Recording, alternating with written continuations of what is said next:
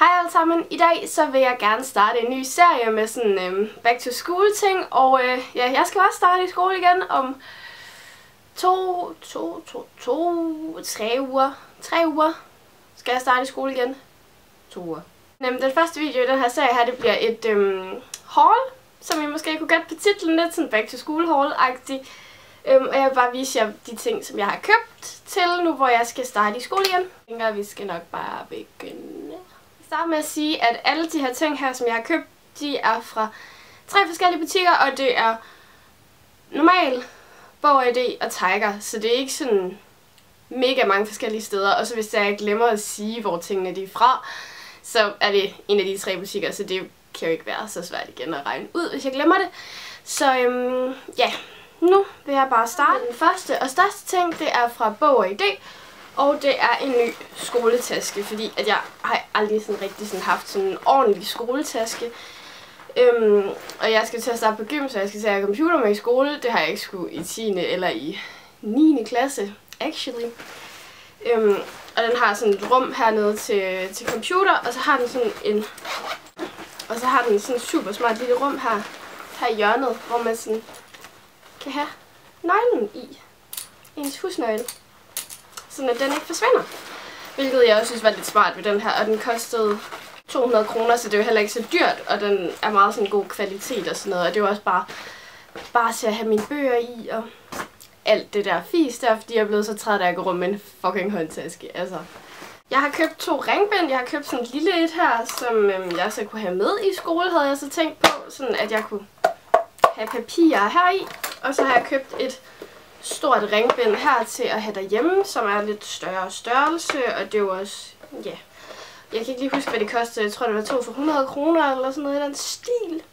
I normalt der har jeg købt nogle af de her øhm, ting, som man putter i sin ringbind, så når man kan skrive herude, hvad det er for nogle fag, eller hvad for noget man har imellem dem her, så det er meget nemmere sådan at holde styr på, og sådan at man kan være sådan organiseret lidt, bare, bare lidt. Så har jeg købt nogle blyanter og en øhm, blyantspidser, og jeg har valgt de her blyanter her, fordi at de var spidset i forvejen. Og hvad er værre, end når man køber sådan et helt sæt fylder, fuld af en hel masse blyanter, og så er de bare ikke spidset. Og så skal man til at spidse dem hver gang, man, man skal bruge en ny, eller hver gang der er et eller andet, der er knækket. Så jeg, jeg køber dem altid, når de allerede er spidset. Fordi ellers så, eller, ellers så bruger jeg dem ikke. Ellers er sådan, nej, jeg må ikke godt lade blyant.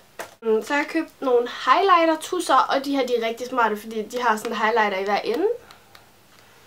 Sådan at de ikke fylder så meget, og det er super smart, synes jeg. Har jeg købt et lille sæt, sådan en lille matematiksæt her, hvor der er en passer og lineal og sådan nogle ting i.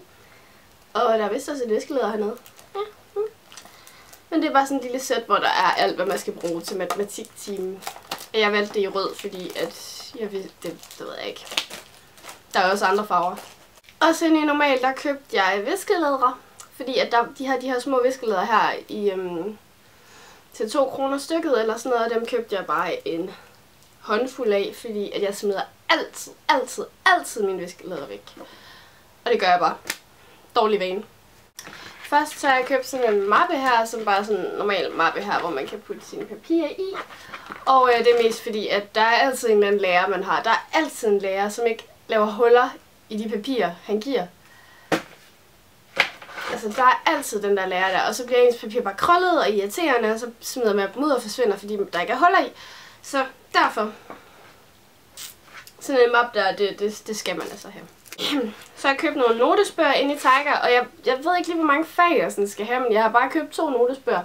Af dem her, hvor der er plads til sådan fem, five subjects, altså. Og det er jo, det er jo bare notesbøger. Især fordi jeg elsker sådan at sidde og skrive i notesbøger. Jeg elsker det. Har jeg købt fem kuglepinde, fordi der var fem kuglepinde til en tier, og det her det er bare verdens bedste kuglepinde. De skriver bare så virkelig godt. De skriver bare, de skriver bare godt. Og det gør de jo bare, og det er helt vildt.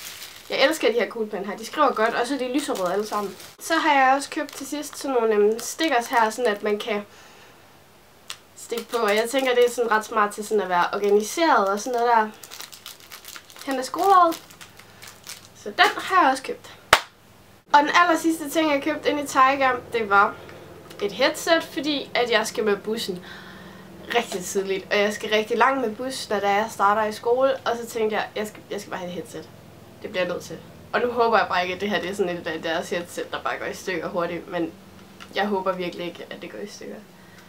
Og det var alt for mit Back to School haul, og øh, jeg håber, at I fik lidt inspiration til, hvad I kunne tage ud og købe til jeres, øh, når I skal starte i skole igen. Og øh, så håber jeg meget, at I har nyt videoen, og så håber jeg allermest, at vi ses i min næste. Hej hej!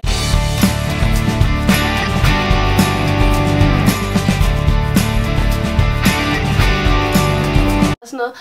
Og fuck, hvor er der varmt herinde. Jeg kan godt have bukser på. Shit, jeg glemte en ting. Men jeg skal have noget drik. Back to school video til jer, og øh, det her det bliver et øh, haul, fordi at jeg har købt back to school supplies. Oh my god, den her video vil være så meget nemmere i engelsk, på engelsk. Hej alle sammen, i dag